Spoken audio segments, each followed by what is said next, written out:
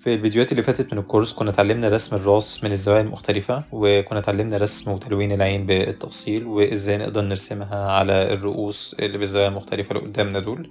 وبعد كده اتعلمنا رسم المناخير وتلوينها بالتفصيل وبرضو كنا ضفناها بعد كده على الرؤوس بالزوايا المختلفة. وفي الفيديو ده إن شاء الله هنتعلم إزاي نرسم البق أو الشفايف وإزاي نلونهم بالتفصيل. وبعد كده هنتعلم في الجزء التاني من الفيديو إزاي إن إحنا نقدر نرسم الشفايف أو البق بالزوايا المختلفة على التلات وشوش اللي قدامنا دول. لكن كالعادة قبل ما نبدأ في الرسم حابب أفكركم إنكم تدعموا القناة والكورس عن طريق عمل like للفيديو وده اللي هيساعد إن شاء الله إننا نوصل الفيديو لأكبر عدد من الناس علشان يستفيدوا من الكورس. وبكده نكون جاهزين إن إحنا نبدأ نرسم الشفايف. فأول حاجة بحب أعملها هو إن أنا أختار اللون البني للرسم زي ما عملنا في الفيديوهات اللي فاتت. وبتأكد إن أنا بستخدم الفرشة اللي هي بنسل رقم اتنين زي ما عملنا في الفيديوهات اللي فاتت برضو. ودلوقتي هبدأ إن أنا أرسم الشفايف عن طريق رسم خط الأول اللي هيكون بيفصل ما بين الشفة العلوية والشفة السفلية. وبيبدأ من الركن الأول للبق وبيوصل لحد الركن التاني. فدايما بزود أو بتقل شوية على الأركان بتاعة البق. وبعد كده برسم زي منحنى صغير كده في نص الشفايف من فوق. وبعد كده ببدأ إن أنا أوصله تحت بالأركان بتاعة البق. وبكده يكون عندي الجزء العلوي للشفة العلوية. وبعد كده ممكن إن أنا أنزل برضو بالتفصيلة الصغيرة بتكون موجودة هنا في الشفايف بالشكل ده. ومش لازم إن إحنا نضيف التفصيلة دي لكل الشفايف اللي إحنا بنرسمها. ودلوقتي هبدأ إن أنا أرسم منحنى تحت كده يمثل لي الجزء السفلي للشفة السفلية.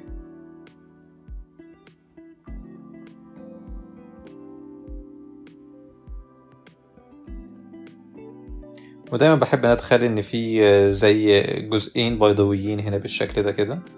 ودول هيكونوا مستويين اللي هيكون عليهم أكبر ضوء على الشفايف والجزء اللي تحت ده هيكون عليه ظل مقارنة بالجزئين البيضاويين اللي موجودين فوق. وابدأ برضو إن أنا اظلل الأجزاء دي لحد الأركان بتاعة البق وبعد كده ممكن برضو إن أنا اظلل الشفة العلوية. ودايما الشفة العلوية بيكون أغمق شوية من الشفة السفلية. وده بسبب إن الضوء اللي بيكون جاي من فوق فمش هيكون منعكس على الشفة العلوية لكن هيكون منعكس على طول على الشفة السفلية. وبرضه لو الضوء جاي من فوق فهيبقى في ظل خفيف شوية كده موجود تحت الشفة السفلية.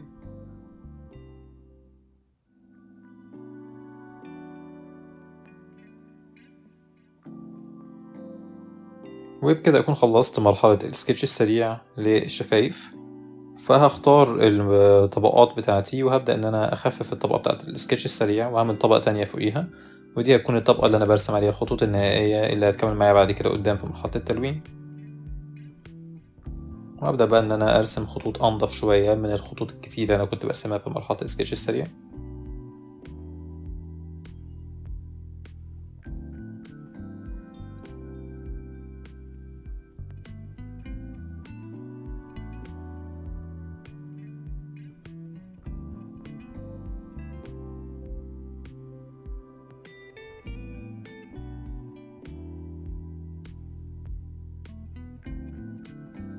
وأبدأ برضو أنا أزود شوية تظليل خفيف هنا كده جوه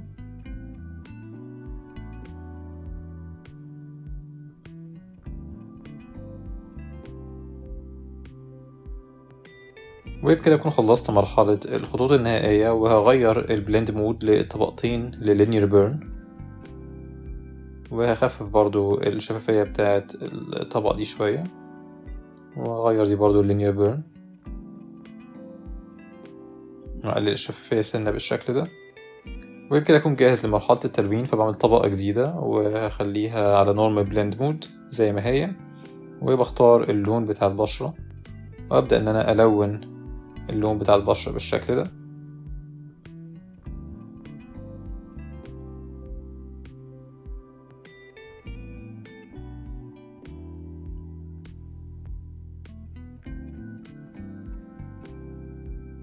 وبعد كده هعمل طبقة جديدة فوق الطبقة بتاعة البشرة ودي هتكون بقى اللي عليها اللون بتاع الشفايف نفسها. فبقدر إن أنا أغمق اللون شوية بالشكل ده كده وهبدأ إن أنا ألون الشفايف.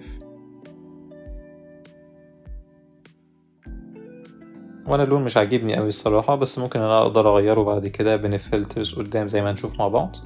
ودي ميزة طبعا استخدام الطبقات إن لو في لون مش عاجبني بكل سهولة أدوس على ال filters من هنا بالشكل ده وبعد كده أختار ال hue وال saturation وال lightness وأفضل إن أغير في البارات اللي قدامي دي لحد ما أوصل للدرجة بتاعت اللون اللي ترضيني.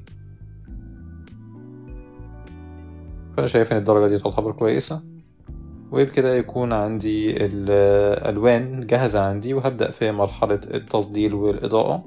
فبعمل طبقة جديدة وبخليها linear burn blend mode ودي هتكون طبقة التظليل وبختار اللون بتاع البشرة وبغمقه شوية بالشكل ده. وهبدأ بقى إن أنا أظلل الأماكن المتخيلة مش هيكون وصل لها ضوء بقدر كافي. فبغمق الشفة العلوية الأول وبعد كده ممكن أغمق الجزء اللي تحت الشفة السفلية بالشكل ده. وبغمق برضو الأجزاء اللي بتكون جاية من الأركان بتاعة البق للشفة السفلية بالشكل ده.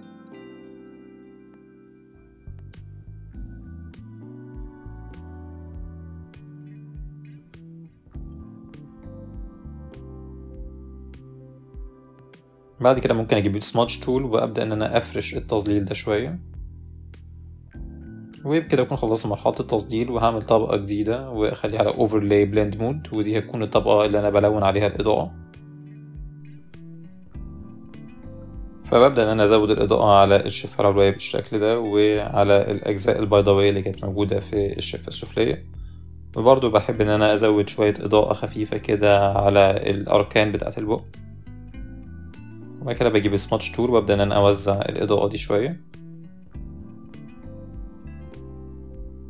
وبعد كده بعمل طبقة جديدة ودي هتكون الطبقة اللي أنا برسم عليها ال highlights أو اللمعان اللي هيكون موجود في الشفايف. فبزود شوية لمعان على الشفه العلويه هنا بالشكل ده وعلى الأركان بتاعة البق. وشوية بقى على الشفة السفلية.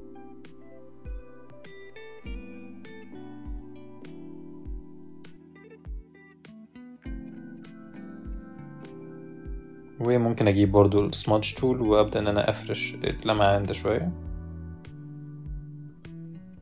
وحاسس ان اللمعان على الشفة السفلية زيادة شوية فهجيب الأستيكة وهبدا إن أنا أخفف اللمعان ده شوية بالشكل ده. وبكده أكون خلصت الرسم والتلوين بتاع الشفايف أو البق بالكامل.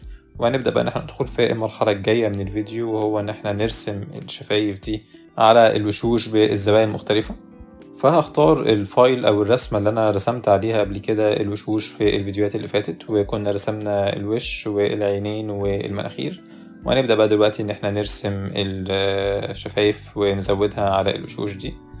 فهبدأ برسم الشفايف للوش اللي باصص علينا لقدام على طول من غير أي زاوية.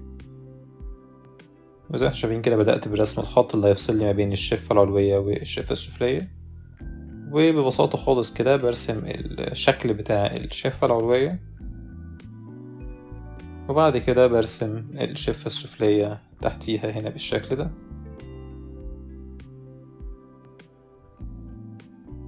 وبعد كده برسم الشكلين البيضاويين. وبكده أكون خلصت رسم الشفايف للوش الأول وهبدأ في رسم الشفايف للوش التاني اللي بزاوية شوية ناحية الشمال. فبرسم الأول الخط اللي بيفصل ما بين الشفة العلوية والشفة السفلية بعد كده رسمت الأركان بتاعة البق بعد كده رسمت الشكل بتاع الشفة العلوية وبعد كده برسم المنحنى اللي تحت اللي هيمثل لي الشفة السفلية بكل بساطة بالشكل ده. بعد كده هضيف الشكلين البيضاويين للشفة السفلية اللي هيكون واصل لهم أكبر ضوء. وبكده أكون خلصت رسم الشفايف للزاوية دي. وهنرسم بقى الشفايف من الجنب المرة دي. فبرسم الخط برضو اللي هيفصل لي ما بين الشفة العلوية والشفة السفلية. بعد كده برسم الشفة العلوية بالشكل ده والشفة السفلية هنا برضو بالشكل ده. وبحاول إن أنا أخلي كل حاجة موازية للخط المايل اللي موجود على الشمال. وشايف إني محتاج إن أنا أظبط الجزء ده شوية فبمسحه بالشكل ده. وبجيب الفرشة بتاعتي مرة تانية وببدأ إن أنا أظبط الشفة السفلية والعلوية. بعد كده هنزل بخط لجوه بالشكل ده ومنحنى طالع لبره بالشكل ده يمثل لي الدقن بتاعة الشخصية.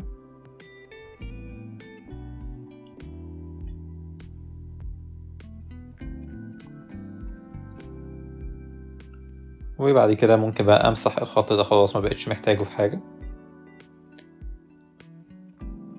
وبرضو ممكن أظبط الجزء ده من الوش.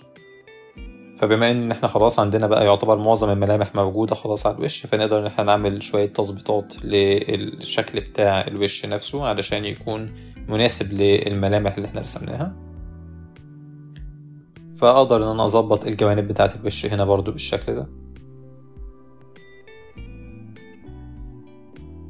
وكنا ضفنا الدقن في الوش من الجنب ونقدر هنا برضو إن إحنا نرسمها هنا علشان نتأكد إن الشكل بتاع الوش مظبوط. فبرسم شكل بيضاوي يمثل الدقن وبعد كده همسحه بعد ما أظبط الشكل بتاع الوش. وأكرر نفس الكلام للوش التاني اللي موجود هنا برضو هرسم الدقن هنا بالشكل ده علشان أظبط الشكل بتاع الوش. بعد كده هبقى أمسح بقى الشكل البيضاوي ده قدام. وأرسمه هنا برضو بالشكل ده كده. وبرضو ممكن أقلب الرسمة بتاعتي علشان أشوف لو في أي حاجة محتاجة إن هي تتظبط.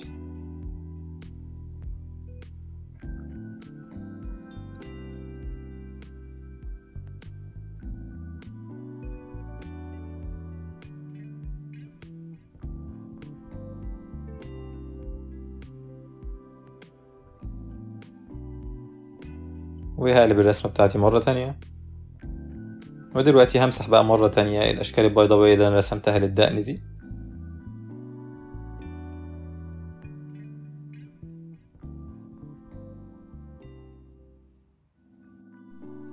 وبكده نكون اتعلمنا رسم وتلوين الشفايف بالتفصيل وبعد كده برضو اتعلمنا رسمهم على الوشوش بالزوايا المختلفة.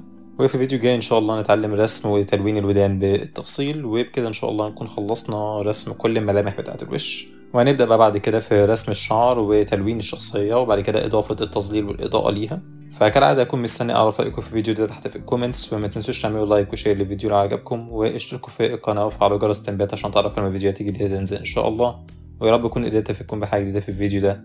وشكرا جدا ليكم.